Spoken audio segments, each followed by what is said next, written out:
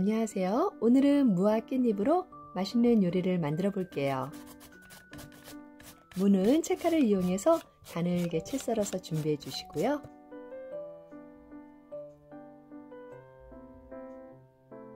여기에 참치액 한 스푼, 들기름 한 스푼을 골고루 넣고 섞어주세요. 향긋한 깻잎 10장은 꼭지를 잘라내고 돌돌 말아서 가늘게 채 썰어주세요.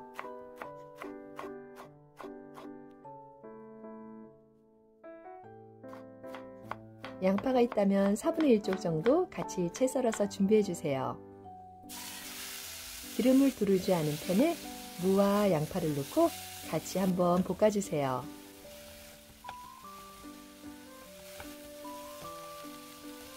어느 정도 볶았다가 이렇게 힘이 좀 빠졌다 싶으면 불을 꺼주세요.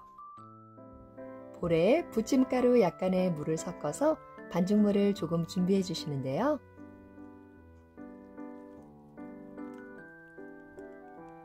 계란 하나 톡 터트리면 맛과 영양도 더 좋겠죠? 여기에 볶아주신 무나물을 넣고 같이 잘 버무려 주시는데요. 무의 양은 많게 반죽물은 적게 준비해 주시는 게 훨씬 더 맛있답니다. 팬에 식용유를 두르고 준비하신 반죽을 넓고 동그랗게 펴주세요.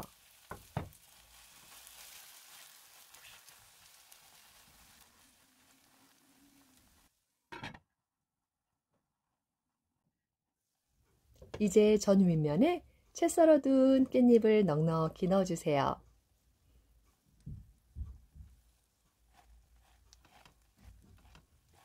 이제 한번 뒤집어 주시면 되는데요.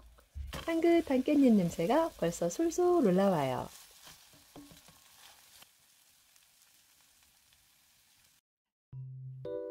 향긋한 깻잎 무전이 완성되었습니다. 어디 한번 맛을 볼까요? 마치 무시루떡처럼 안에 촘촘히 무가 들어있네요. 향긋한 깻잎이 입맛을 더 돋궈줘요.